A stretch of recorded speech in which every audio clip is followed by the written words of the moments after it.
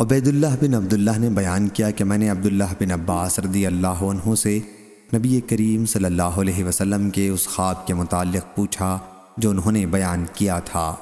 صحیح بخاری حدیث نمبر سات ہزار تینتیس۔